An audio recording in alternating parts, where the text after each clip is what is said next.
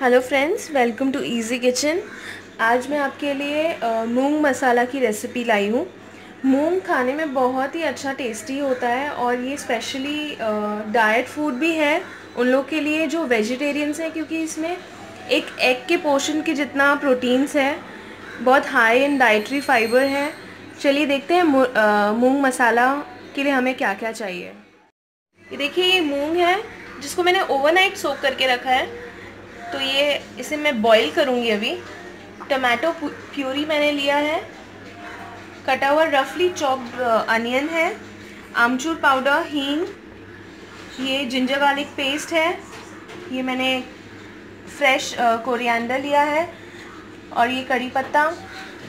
यहाँ पे सारे मसाले हैं जो हम यूज़ करेंगे। चलिए स्टार्ट करते हैं। सबसे पहले हम मूंग जो है उसे बॉईल कर दूँगी मैं। कि बहुत ही टेस्टी लगेगा। थोड़ा पानी और मिला देते हैं। इसे हम तीन से चार विसिल लगाएँगे इसे।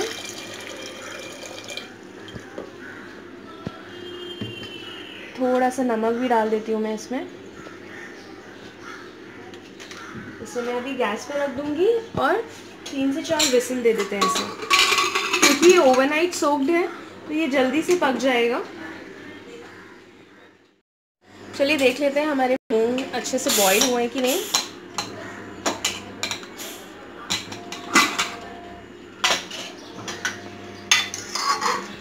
ये देखिए।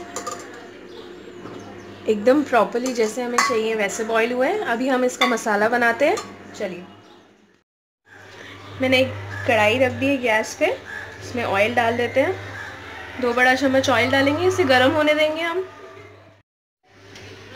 ये देखिए ऑयल गर्म हो गया है मैं इसमें जीरा डाल देती हूँ, एक चम्मच जीरा डाला है मैंने। इसके साथ ही थोड़ा सा हींग भी डाल देती हूँ मैं, इससे खुशबू बहुत ही अच्छा आएगा। कड़ी पत्ता। देखिए, जो हमने प्याज काट के रखा है, वो भी मैं डाल देती हूँ इसमें। हरी मिर्ची। मिक्स कर देंगे।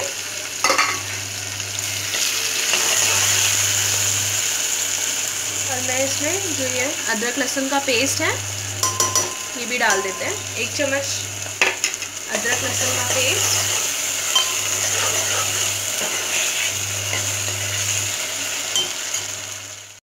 देखिए, प्याज का जो है कलर थोड़ा सा ब्राउनिश हो रहा है, ज़्यादा ब्राउन नहीं करेंगे हम।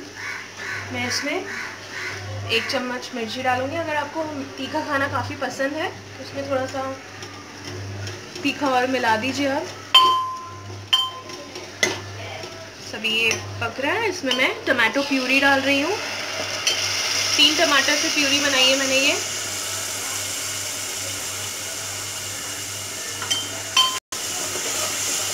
मिक्स करेंगे। मैं इसमें अभी धनिया डाल रही हूँ। दो चम्मच धनिया डाला मैंने। आधा चम्मच हल्दी। करीबन डेढ़ चम्मच मैं इसमें गरम मसाला डाल रही हूँ। मूंग में भी हमने नमक डाला है, इसलिए इस मसाले में हम अकॉर्डिंगली थोड़ा नमक मिलाएँगे। इसे मिक्स कर देंगे। ये बहुत फटाफट रेसिपी बन जाती है। जब कुछ ज़्यादा टाइम नहीं, एक बार मूंग अगर बॉईल हो जाए तो ज़्यादा टाइम नहीं लगेगा इसे बनाने में। ये देखिए मसाले को हम पाँच मिनट तक पकाएँगे ताकि जो भी इसमें मसाले हैं, वो अच्छे से पक जाए और थोड़ा सा ऑयल आने लगे ऊपर। इस मसाले। देखिए, आप देख सकेंगे इसे बबल्स आ रहे हैं। जस्ट पाँच मिनट और। देखिए, इसका मसाला देखिए कितना टेस्टी लग रहा है। इसका ऑयल भी आ गया ऊपर। अभी जो ये मूंग है, ये भी मैं इसमें डाल देती हूँ। ऐसे हम अच्छे से मिक्स कर दूँगी मैं। थोड़ा सा हरा धनिया डाल देते हैं इसमें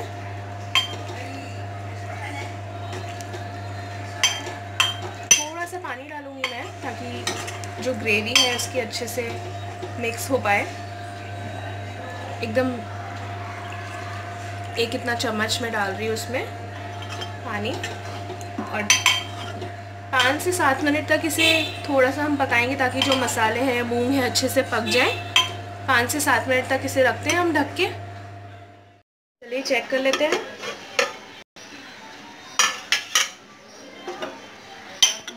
अच्छी तरह पक गया है। अभी मैं इसे बोल में निकाल देती हूँ। इसे गार्निश करते हैं।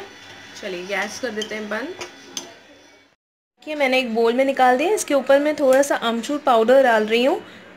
इससे इसका जो टेस्ट होएगा और भी अच्छा हो जाएगा। ऐसे मेरे पास रिंग्स हैं कटे हुए अनियन के। इसे भी ऐसे डाल देते हैं। थोड़ा सा हरा धनिया।